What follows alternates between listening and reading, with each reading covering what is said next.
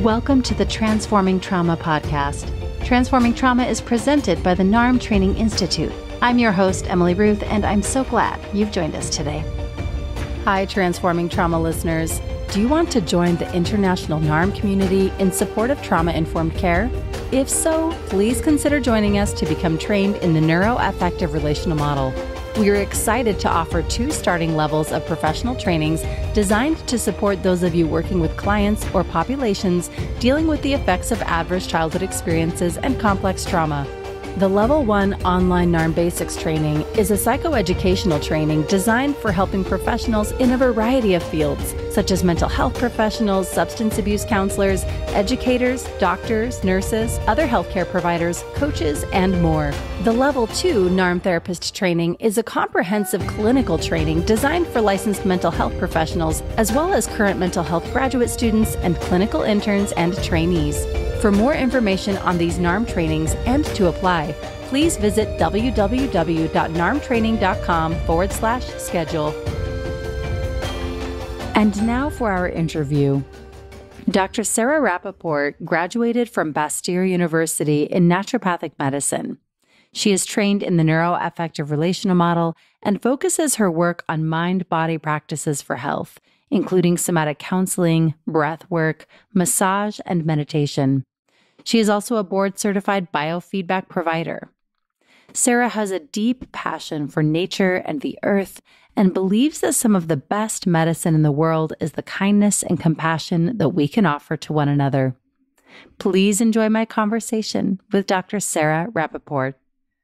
All right. Welcome to the podcast, Dr. Sara Rapaport. We're so happy to have you here today.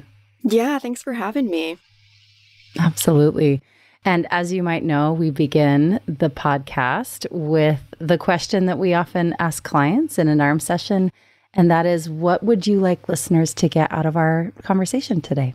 Yeah, I'd love people to just get a better sense of how more knowledge about the mind body connection can help people, my patients, clients, access a greater sense of agency. Mm, a greater sense of agency. Perfect. Yeah. And like the way that I explain this to folks is that a lot of people, I think, in our culture don't get a lot of education or knowledge about their bodies. And so I think a lot of people end up walking into a doctor's office, uh, you know, another practitioner's office, kind of being like, you're the expert. I don't really know anything. Mm-hmm. And what I really like to do in my practice is really help people understand how they can be the experts of their own body. And I often find that people, when they really understand oh, this is how my body works and there's nothing wrong with me and this is just normal, there's this deep sense of relaxation that can start to occur in people. And it doesn't put the doctor on a pedestal anymore. It really puts the doctor and the patient on the same level. Mm. I'm so excited for this conversation. I can't tell you. okay, so that's a beautiful place to start agency and recognizing that we as humans can be the experts of our own bodies. And when we go to a practitioner, they are really there to support us in our process. And that's really, really beautiful. Absolutely. I love it. So if you could start, tell us a little bit more about the work that you're doing and, you know, how you got into the field of complex trauma. Yeah, so I do a lot of different things in my office. I do some basic naturopathic care just for folks that oftentimes are just wanting a practitioner that has awareness of the mind body connection, oftentimes wants a practitioner to manage other aspects of their health that do have kind of a background or a history of complex trauma. I also work in the medical management of folks that have eating disorders. I do some standalone NARM work and I do biofeedback as well. Okay. I also do massage. I forgot about that. I love the variety. I know. I just like to keep it interesting for myself. A woman after my own heart that just does all the things.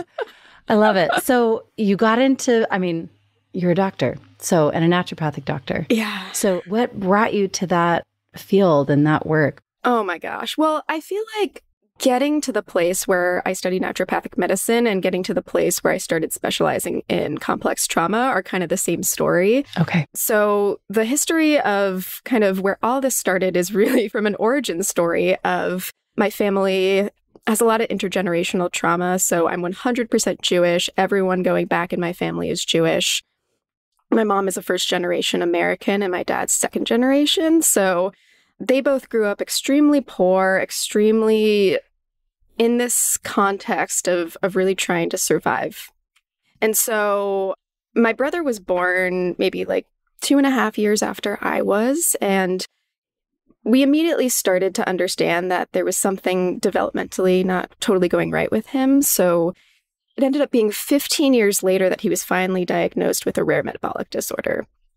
So I became fascinated with neuroscience and with medicine at a young age just because I had this brother that was just developing very differently from myself. And I grew up going to occupational therapy appointments and physical therapy appointments and kind of being his helper mm. in a lot of ways. And so I was very identified with that role as a child, really, because the whole family was very organized around how do we help my brother? How do we manage this? And the way that I found to survive was being somebody that could be helpful. So I went to college, I studied neuroscience and molecular genetics, and I actually ended up working in one of the research labs that studies the metabolic disorder that he has. So very involved. Was that just coincidence or was that like you steered it that direction? It's complex. I did steer it in that direction. And I think a lot of kind of magical things happened that got me there. But I was so identified with being this person that could be helpful and really kind of in the savior role in my family of like, I can be the one that helps. Hmm. That I really continued to feel like through all my college years that that was my role in life. The cracks started forming, though, as they always do, where I started really getting quite depressed and quite anxious. And at that time, I didn't really have a sense of why that was.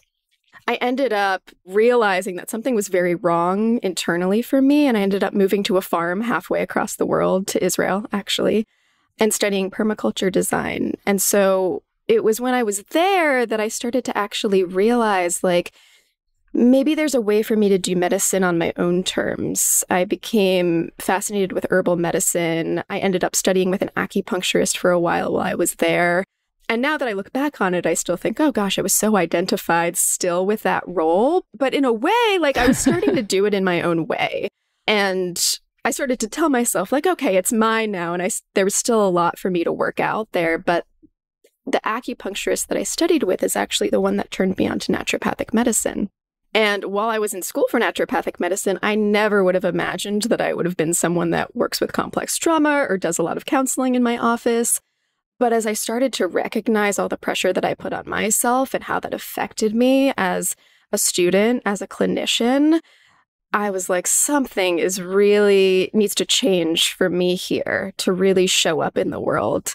And we had a, a professor who's now retired, but he was the head of the mind body medicine department, and he exclusively did biofeedback and mind body medicine in his practice. And I actually ended up going to see him as a patient, and my whole life changed with just learning about biofeedback and learning about my body and being like, oh my gosh, I'm holding on to so much anxiety and so much tension. And recognizing that in myself started to propel me towards getting a really big interest in mind body medicine, in polyvagal theory, and really helping people in the way that I had been helped, which ultimately led me to NARM. It's a really long story. okay. so ultimately, yeah, yeah, yeah. I believe it. You and you don't have to share all of it, but I'm I am curious because that is a little bit of a jump. I mean, not you know, in the trainings we don't have a whole lot of doctors coming through. So I'm curious what did kind of help you make that jump? In naturopathic medicine, we have a principle. We have six principles that we live by. And one of those principles is identify and treat the cause. In our first year of education, something that's really kind of honored is our philosophy and what treating the cause actually means. And the really old school naturopathic medicine were, and a lot of people still practice this way, is, is vitalistic medicine. And that's this belief that the vital force is what helps us heal. So it really kind of holds this principle that we are our best healers and this understanding that there's all these ways in which our vital force gets blocked. A lot of that is from our own internal strategies. So that really sparked my interest as a first year ND student of like, oh, yeah, like we get to work with this thing, the vital force, that in allopathic medicine is not, it's not a concept. And we got told this a lot as we were going through school that, like, you might start to, you know, not hear about the vital force as much anymore um, because a lot of naturopathic medicine has become a lot more allopathic in its education system. So I started to kind of be like, well, what happened to that? Like, what's actually going on with that vital force? And different people were practicing with it in different ways. So, some people use a lot of energetic medicine. I would say acupuncture really works with the vital force, homeopaths really work with the vital force. None of that was really feeling kind of like my thing. I've always felt really drawn towards agency interventions. And so when I found mind body medicine, I was like, oh, this is how I get to work with this. And when I found NARM, I was like, this is actually what naturopathic medicine is all about. I read about NARM and I read about how NARM works with the vital force. And I was like, this is actually the same thing to me as naturopathic medicine. I love that. And it reminds me of that quote by Larry just about how the impulse is toward healing. I read that quote. That's what brought me to NARM. I was like, oh, this feels like truth. This is right. That's what I'm hearing you say. Exactly. That's always been something that we've held in naturopathic medicine. And when I heard Larry say that, I was like, yeah. he gets it. And I love that quote because that's what I'm always holding for my clients and my patients is that they're all trying to figure that out or find that in themselves. It's just about can we understand what's getting in the way? Yeah, that's beautiful. So you kind of gave us, I feel like, a little teaser of the complex trauma part. So you came to NARM, and I mean, did that kind of just all come together with the complex trauma part? Is that what brought you to this field? Yes. And I was interested in complex trauma before I found NARM. I was really, this, the last two years of my ND education, I got really into polyvagal theory. I got really into Bessel van der Kolk. So, all of these people that were kind of more in the somatic uh, methodologies around trauma healing started to become a really big interest to me because of just what I was seeing in my patients and seeing in myself. So, that interest was there.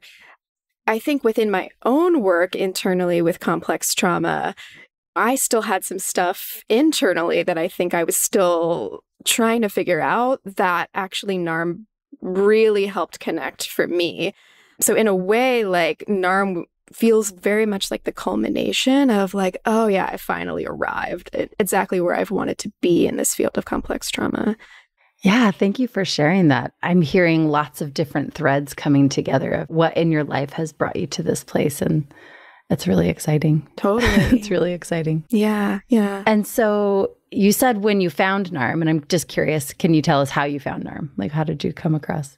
I had a chance meeting with another NARM practitioner and at that point, I was thinking about doing a training in internal family systems or somatic experiencing. And I, I didn't really feel decided. I just knew that that was something that I wanted to do.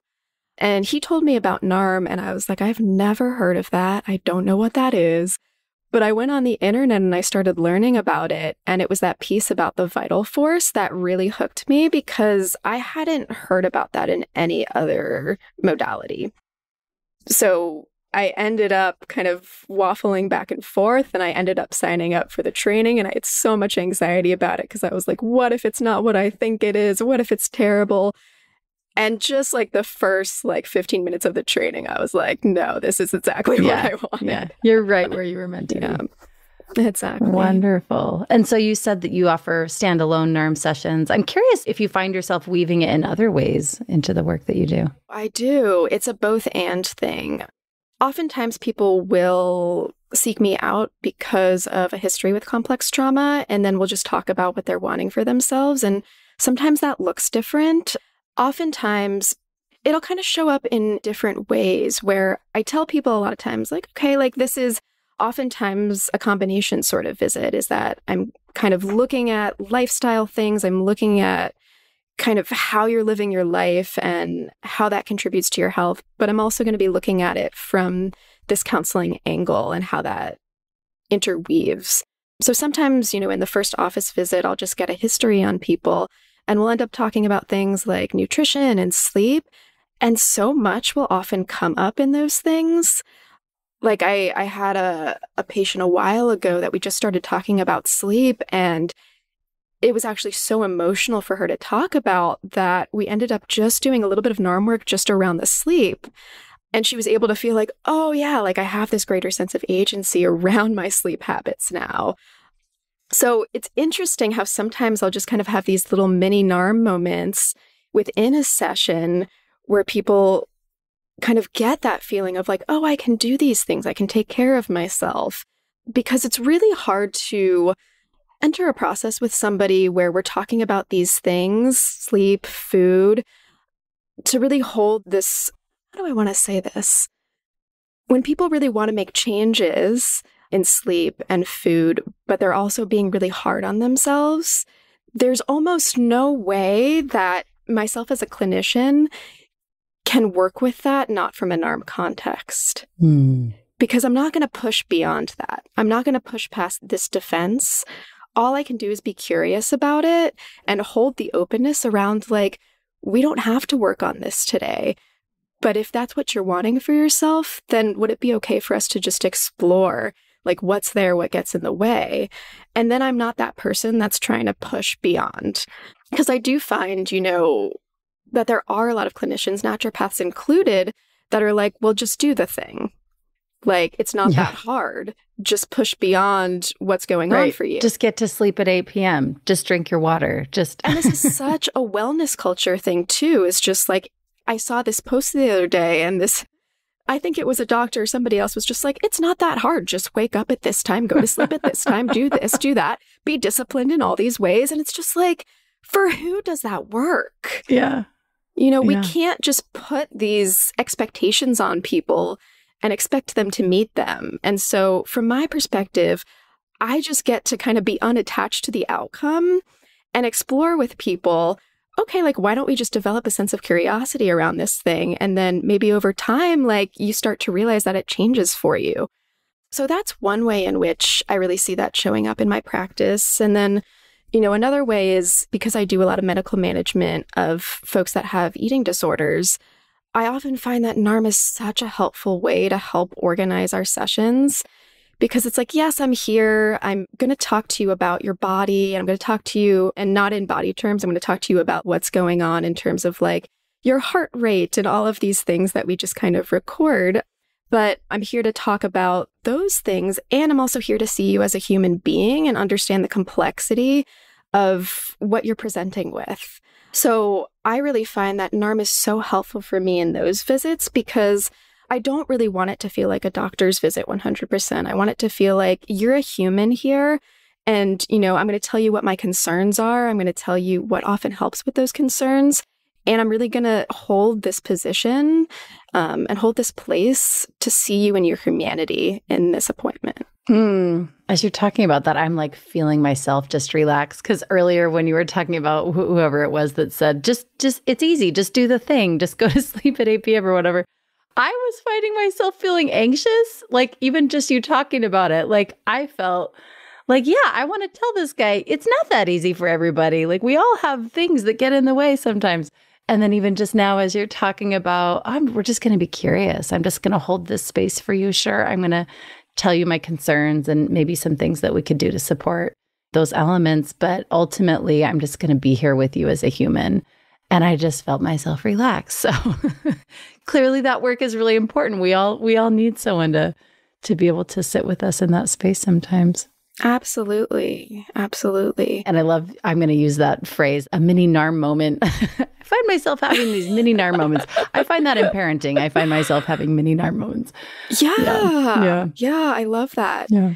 And actually, like an interesting side note, too, of like one of the reasons that I got into the medical management of eating disorders is that I started to see, even within my own profession, how unfortunately there are some folks that started to kind of create eating disorders in people. Mm-hmm. So mm-hmm. when we start labeling foods as good or bad or right or wrong, as often is done in the wellness community, I think they don't have the intention to be harmful at all, but it ends up being harmful to people because people start to have this feeling around, well, I can have this, but I can't have this, or this is healthy, or this is not healthy.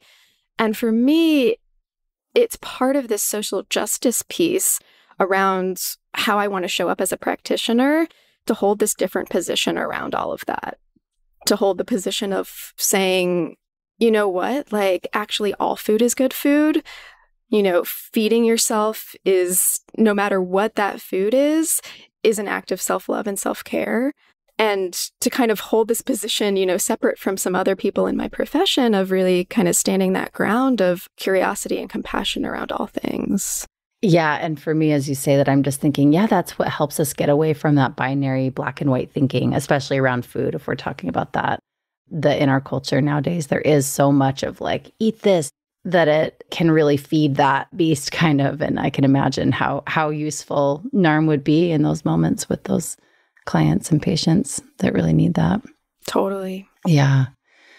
So, okay, so you're giving us a little bit of a snapshot of what it is that you do. I'm I'm curious if you have any stories or examples that you could share with us, you know, either from your own life or with patients that you feel like would kind of illustrate the work that you're doing. Well, something that was really cool to me, I think, in what we were talking about in these like mini NARM moments, is all the ways that these little NARM moments actually help people connect to themselves better. So the one thing that I'm thinking of is uh, I have this longtime patient who ended up doing some biofeedback sessions with me because that's what she was wanting. And so that's the direction we ended up going. And we had this really cool session where we were doing some heart rate variability training. And in that training, what you do as a client is that you're watching the screen and there's this red line, and the red line is your heart rate. And so part of the invitation is like, okay, can you follow your breathing along with your heart rate and just see how that goes? And so I think this was her first time doing it. And she was following along. And then I saw like something happen in her. And so I paused it and I was just like, what's happening right now? Like, what are you noticing? And she started crying and she said, like, oh, I can feel my heart. Like, I can feel that I'm connected to this. And to me, it was almost like my brain exploded, where I was like, wow, I had no idea that anyone could feel that way just by doing this mm-hmm. exercise. Mm-hmm. And to me, it felt like the exact same way that NARM sessions feel to me of when people just have that connection to themselves and suddenly this big shift starts to happen in them. And for me, it was this recognition of like, that can happen outside of this traditional NARM structure as long as I'm still providing and holding the same space around it. Mm. And that was just a really cool download for me to be like, wow, like there are actually so many possibilities within a NARM framework that I think I'm still realizing and probably will be for a very long time. Yeah, there's so many layers there. Gosh, I felt that when you shared that story, just the idea of feeling so connected to your own heart. It's that heartfulness, right, that we talk about. Yeah, um, yeah. And in that moment, I just, I got a little taste of it. I just felt it, what she, I think, was feeling. That's really, really just a lovely example. Yeah. And a big chunk of my practice is just NARM at this point. I would say like 70%. Mm-hmm. So, in a lot of ways, it's probably not too different from other NARM therapists. I had a lot of clients this week just share the most like touching and beautiful revelations about themselves. And it helped me to just recognize and realize like, this is why I'm here. This is why I do the work that I do. Because to me, like, the best feeling that I have is just holding that space for people to come into their own agency. Like, there's nothing in this world that I think brings me greater joy than seeing that. Yeah, I'm curious. Would you be willing to share any of your own personal experiences? Because I know this has been, and I know we've talked. If, if we can just let listeners in on on something, we we tried to record this episode earlier, and we had some technical difficulties, and we both kind of were like, I think maybe the universe is telling us we need some more time, and we both kind of discovered some things. I think since we last met, and so I'm curious you know, you don't have to share, but I'm curious if there's anything that you would like to share in terms of your own process and experience with NARM. Yeah, yeah. I know. I'm I'm so thankful you brought it up because so much internally has shifted from me. So when Emily and I first met, you know, with all those technical difficulties, I was also with my own awareness of realizing what I was coming into recording this podcast with, mm. where I was like, okay, I have to like figure out what I'm saying. I have to have a really clear message. And you can just hear it. Like you can hear all the pressure that I'm putting on myself in this, right? And so I come in and I'm like in my sympathetic nervous system, I'm like blazing hot internally. And yet I'm trying to record this podcast and trying to speak about something that for me very much lives in my parasympathetic nervous system. So I was almost happy that the technology wasn't working for us because after that, what started to really shift in me is I was almost able to see all of my strategies as almost like this ether or this cloud that started to exist around me. And it almost felt like a movie where I could like see all these little strategies and I could just look mm. around and be like, do I really need to do this right now? Mm. And like, what do I really want for myself? Because ultimately, what I really want for myself as a human being is to show up in my humanness and to show up authentically. And for me, that really involves dropping how I think I'm supposed to look or what I think I'm supposed to say or trying to fit into this idea of how I should be presenting myself or naturopathic medicine or anything to just drop all that and honor the fact that I'm a human being just as I do with my clients and with my patients. So it's actually been such a gift for me over these past couple of months to come into this recording and show up in a completely different way in my humanity. So it's a very meta NARM yeah. process, right? to be like, we're recording this podcast about NARM. This thing happened that's very meta NARM. Yeah. And like now I'm talking about yeah. it, which is even more. And we're yeah, we're having this mini NARM moment right now as we're talking about exactly, it. Yeah, very cool. Exactly. Very cool. And it's profound because I mean, yeah, out to pull the curtain back on my experience too. I was pressuring myself. I was like, I got to figure out how to get all this technology. Fi- like, what am I doing wrong? What, I got to figure this out. And so we were both having that experience, and now we're coming to it. And it felt like there's coming into it, there's just so much more ease, and we could just be ourselves in this moment. Yeah. Yeah. Like how beautiful for us both to just recognize that and like find our way in that. Yeah. Yeah. Very cool. It's really cool. Very cool. Well, I feel like there's so many more questions I could ask. If I could ask just a personal note in terms sure. of the the work that you saw yourself doing when you were kind of on the path of showing up in your family in a certain way and being the helper in that way. I'm curious if that shifted at all, if that's not too personal to ask. No, not at all. Um, massively, massively. I actually do credit NARM with a lot of the ways in which that's shifted in a major way. Part of that shift started when I graduated from college and moved to the farm in Israel because I think it was really the first moment that I did something for myself that wasn't about anyone else. Hmm. I recognized my last year of school that I really wanted to put my hands in the dirt. I became fascinated by permaculture and by sustainable living. And that was the first time that I really was guided by that desire inside of me.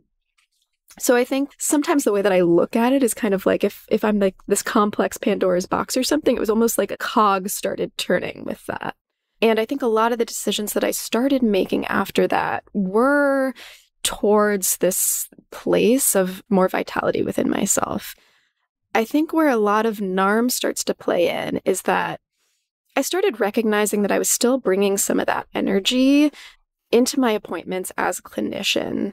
So I started to feel myself a lot at the end of my schooling and at the beginning of my practice, really feeling like these feelings of like, I'm not being helpful enough, or I'm not doing a good job, or honestly, like feelings too of like this misplaced or this projection of anger sometimes towards my patients where I was like, what is that? Like, I know that's not about them. This really feels like it's about me. And that projection was always kind of like, oh, they're not doing this to get better. And I really wanted to explore that in myself because I was like, I can't keep bringing this into my sessions with people. And so, really, through my understanding of myself, really through a NARM context, I started to become able to recognize what that was all about and how I was still holding that feeling of feeling like I really needed to save or to be the one that does all the things that solves the problems. And that was that same trauma from my childhood showing up in a different way. And what NARM has really allowed me to do is to create that separation between myself and my clients and my patients to be like, cool, what I'm holding here is all these things that I know about health, that I know about your health specifically, what makes that better, what can support that. And ultimately, you get to decide where you engage on that. And so I knew that, but really feeling into that for myself, really feeling like, okay, I'm over here, you're over there, and I'm holding this love, this compassion, this support for you, but it's not my job to make you better. That has shifted everything for me. And I really had to feel that on a deep level because even though I knew that on a logical level, I didn't feel that for so long. Gosh, I'm just feeling so much appreciation for that way that you're approaching the work and how you practice. Because speaking for myself and my interactions in, with healthcare, and I've had my own kind of slew of health issues. I don't, I don't know a better way to say it. And I haven't often felt met in that way of this is what I know. This is what I know about your health specifically. And ultimately, you know, this is your body and your choice in how you go forward with this work. And I, I just felt really moved and touched as you were talking about that because I just think of how many folks, probably, you know, not unlike my own experience, have been met with an energy of, I need to fix you, and then feeling like acted upon in that way, if that makes sense. Like, I need to be yeah. fixed. I'm a problem. And gosh, I'm feeling emotional just as I'm talking about it. That's not a fun place to be when you're sitting in front of a, you know, a healthcare provider to feel like we need to be fixed and how different that is and would be for more folks to be able to sit in front of someone like you in the way that you're practicing. It's just a very different way of approaching our own bodies. And I imagine that that's, again, really powerful in the healing process to relate to ourselves in such a different way and have a healthcare provider relate to who we are as humans in such a different way. So, yeah, just feeling so much appreciation for the work that you're yeah. doing and and the others like yourself are working in that way. Yeah, and I, I feel so touched by what you're saying too, because I feel that pain. Like I feel how people have been treated in the medical system and how to me it feels so obvious that what's happening is that we get so scared as doctors. Yeah. We get so scared that our patients are going to die, that our patients are going to be sick, that we're doing something wrong, that we're that we're causing harm. And for me, I've had to really put that aside as much as I possibly can so I can really see the person that's sitting in front of me because I realize I am doing harm, actually. And such a principle of medicine is first do no harm. But I think a lot of doctors don't recognize that this is a big way in, in that they start to enact that is that when we put these expectations on people, when people feel like they have to be fixed, no one can heal in that container. I want to like highlight that. That is so powerful. That that's so powerful. Yeah. And I wish that there could be a way for doctors to start to recognize that in themselves and for our medical system to really start to organize around that principle. And I have huge thanks to my current mentor, Dr. Sarah Centel. She holds this principle so well. And every time I've questioned myself, or anytime I've been like, Am I doing this wrong? I go to her and she's like, Your job is not to fix anyone. Your job is mm. just to hold this space around here's what I know, here's what can help, and you decide. And so, like, having somebody in my corner that holds the exact same truth has been vital because I think, as any practitioner, to go out on your own and do something that's different when no one's in your corner feels traumatic in and of itself. It feels alienating. And to know yeah. that there are other practitioners out here that are holding that truth for me is so important. Yeah, I think of kind of those pioneers, the doctors that were doing that before they felt that kind of support.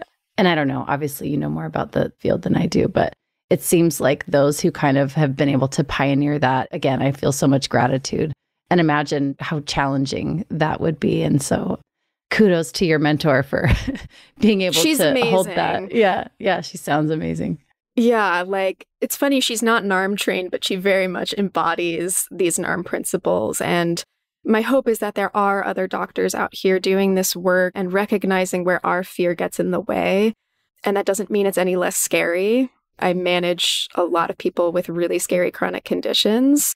And that's my work to like work on my fear, to hold space for that, to recognize where I bring that or don't bring that into appointments. You're naming something that is so vital in this work, and that's the self of the therapist part or the self of the practitioner part. That what we're bringing can really impact who is in front of us, and and doing our own work. How important that is! It's so vital. So I love that you're highlighting that's been such a an important part of your process. It is, and like I don't know if this is just who I am and who I've always been as a person, but there's these ways in which I feel like if I start to show up inauthentically, I recognize that I can't show up anymore. so it's like I only have like a certain amount of bandwidth for not mm-hmm. showing up authentically before mm-hmm. I start to burst. Mm-hmm. So I'm the kind of person where I started to realize, oh, if I'm showing up in this way I don't like, I'm the only one that has the power to do anything about that. Nobody else can change that for me.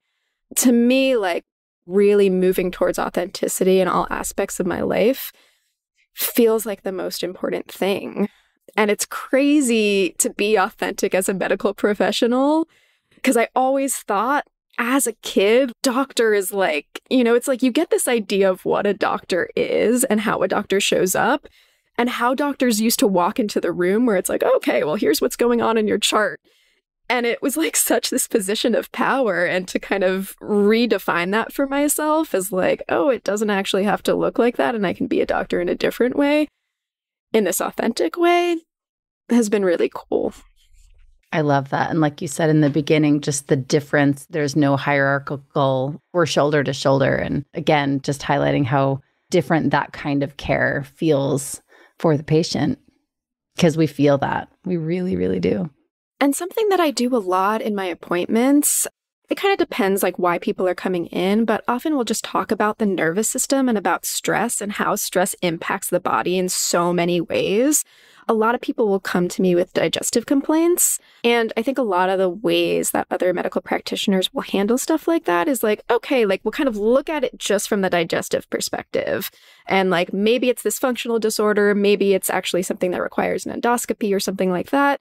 I like to kind of push that all aside and say, like, okay, like what's going on with stress now? And how does stress actually impact your digestive system? And like what we know about stress is that your parasympathetic nervous system starts to shut down. What do we need for digestion? Your parasympathetic nervous system. And so what actually happens, I'll just give you like a little bit of a debrief on like some of the stuff I tell my patients, but please. Something that happens is like we don't secrete stomach acid when we're in a sympathetic state. So all these downstream effects start to happen when we don't have enough stomach acid. Pathogenic species will start to enter or we'll get overgrowth. And so all these things can happen, you know, as stress starts to become more of a thing. So oftentimes I will just take out this polyvagal chart with people and I'll be like, okay, the chart that I love is probably one that you've seen online before where it has all these emotional words on the left and then it has more of these physiological words on the right. And then I'm just like, cool, like this is your body. This is what happens in your nervous system when you're dealing with a lot of stress or when all of these things happen that you might have mentioned before. And we just go through it and we start to kind of piece together the pieces of like, oh, yeah, digestion feels really hard when you're in this state. Makes perfect sense. Here's why. Or, you know, a lot of times what I'll do as well is like, I don't like treating a lot of functional digestive disorders with like a really heavy hand at the beginning. I'll just kind of say, like, okay, like stress is involved here. How do we help understand that? Are there ways you know that you put stress on yourself or that your environment is stressful in ways in which we can start to explore?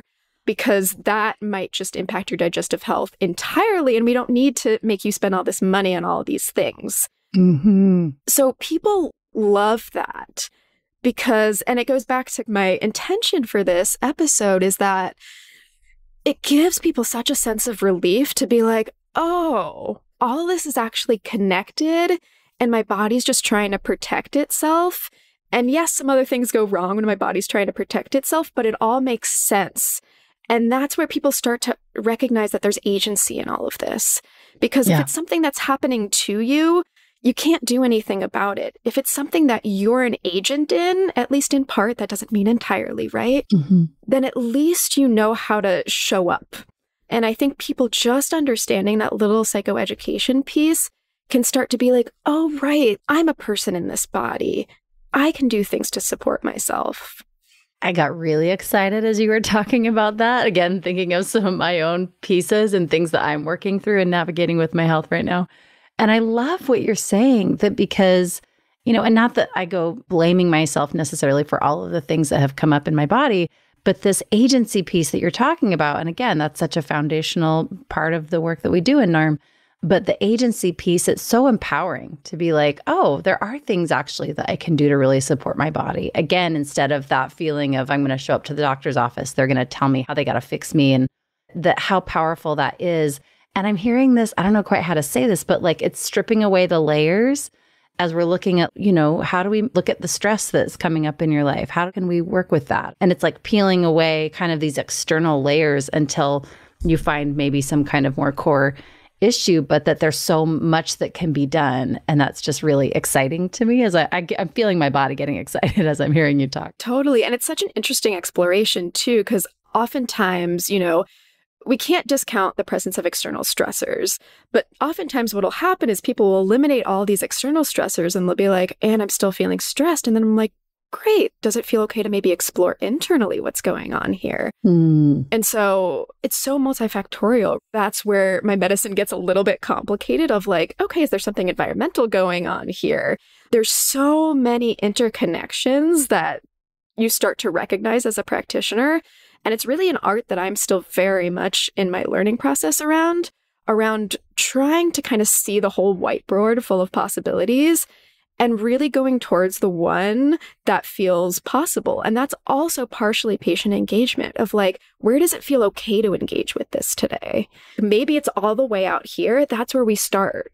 Again, just feeling my nervous system settling because I'm just imagining walking into a doctor's office where that is the approach of, hey, if this feels like too much right now, hey, let's start over here. What's out here that we can approach and how different that feels in my body, even just as you're talking about it. Totally. And like, I think medical trauma plays hugely into this whole picture. I think most people walk into an, a doctor's office with kind of the shield up. I myself will do this too they're going to tell me what to do and I don't want them to do that. Yeah, yeah. And so from my perspective, I'm like, as much as I can create the space where people don't feel like they have to do that because all the options are available, the better relationship that we can have. It really touches me to think about as well because growing up with my brother being very hyper medicalized because nobody knew what was wrong with him, there were a lot of people, a lot of doctors that were just cruel, to say the least. We knew there was something going on. We had a very clear idea of like, these are the symptoms, this is what's happening. And the amount of times that essentially we as a family got laughed out the door, like crazy, just crazy to think about. And actually, what's an interesting part of this story that I didn't mention is that when I went to go study in the lab that studies my brother's rare metabolic disorder, the guy that's a doctor that's the head of the lab is one of the most wonderful medical practitioners I've ever met in my whole life. He is so kind. And that is actually part of what stimulated me to still go into medicine after all of this is that he just always approached his patients with this openness and this kindness that I had never really seen before. And just like endless options of like, here's this thing we can do. And I think when you're a doctor that works with really rare metabolic disorders that often don't have really good treatments for them, it often puts you in this position where you're used to a lot of people not doing particularly well. And I think being in that position in a way helps to hold space for like, I'm just here to support you because this is so hard to work with and can be so traumatic as a family to be supporting somebody that has a rare disorder. So I think from his perspective, it's, you know, in a way, like he was just so used to that that it became easier for him to say like i'm just going to be kind and compassionate and open i'm sure he was always like that because he's just that kind of person but mm-hmm. Yeah. Yeah. Really special. You're naming the heartfulness yeah, piece, right? Yeah.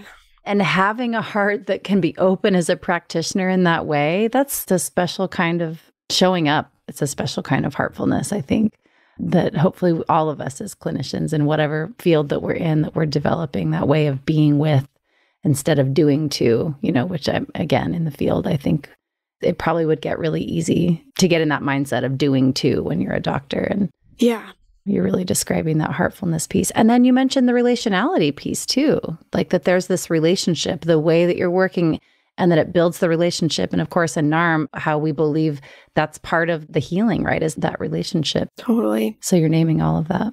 And like every day I learn about that. And like part of the humanity piece that always comes back in is like, for me, always holding that I'm going to make mistakes.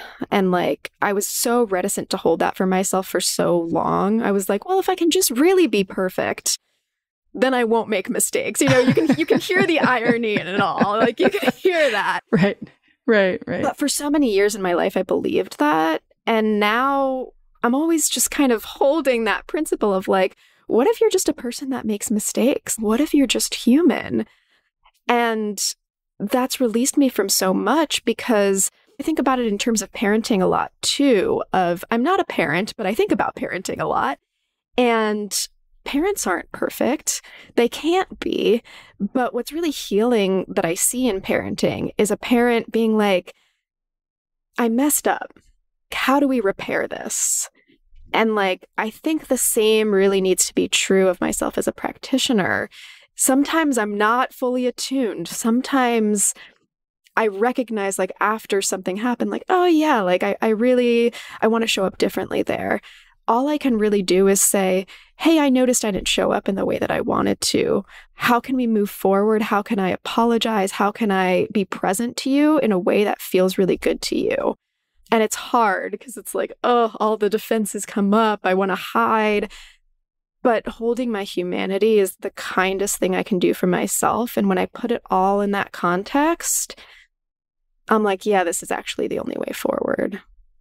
I feel like that feels like such a core piece to all of this. That is the only way to move forward in our humanity and to own when there's a rupture and the, the repair is so powerful. And as you're speaking to it in terms of both parenting and as a clinician, how powerful that is. Again, I'm just imagining a doctor saying, Hey, I, I noticed that I didn't show up in the way that I would have wanted to. How can I repair that? Wow. Right? I'm like, It's crazy yeah. to think about too, because even as yeah. you say it, I'm like, why is that not a thing? And then I'm like, yeah, it's like it's rarely ever a thing. But I hope too that like there are other doctors listening to this that maybe even aren't NARM trained that can start to take some of that to heart of really meeting patients with what they need and what they want because it's just so vital like our healthcare system shouldn't be a dictatorship. Mm-hmm. Sara, thank you so much. This has been such a rich conversation. I really, really enjoyed it. It's obviously been very personal for me. So I appreciate you being willing to share your own personal experience and letting me kind of show up in the same way. As we close, if there's anything else that you'd like to share, and then also how can listeners get in touch with you and the work that you're doing? Yeah, I feel well rounded, and I just want to share my feelings on like, just thank you so much for sharing little bits of yourself and for holding this really beautiful space. I'm just so appreciative of you in this conversation. And you can find me at my website. It's www.drsarahrappaport.com. I have an Instagram that I very rarely use, but you're also welcome to shout out to me there. And a LinkedIn, like most people, that I also rarely ever use. well, we'll put those links in the show notes so the listeners can get in touch with you and see what the work that you're doing and remind us where you're located in case there's anyone local to you. I'm in Portland, Oregon. Beautiful, beautiful. All right. Well, thank you again, Sara. Dr. Sara Rapaport, we're so happy to have you here and appreciate the work that you're doing and how you're showing up in the NARM community. Yeah, thank you so much for having me, Emily. Absolutely, my pleasure. Thanks so much for joining us for today's episode. To find more about our guest and their work, check the show notes or visit us at narmtraining.com slash transforming trauma. Are you working with clients or populations dealing with the effects of adverse childhood experiences and complex trauma? If so, we invite you to consider joining us to become trained in the neuroaffective relational model in support of trauma informed care. We are excited to offer psychoeducational and clinical trainings for a variety of mental health professionals. For more information on these NARM trainings and to apply, please visit www.narmtraining.com forward slash schedule. Thanks to Andrea Klunder and the Creative Imposter Studios for producing and editing, to Tori Essex for our album art, and to Brad Kammer for the creation of this podcast. We look forward to building community, connection with you, and changing the world by transforming trauma.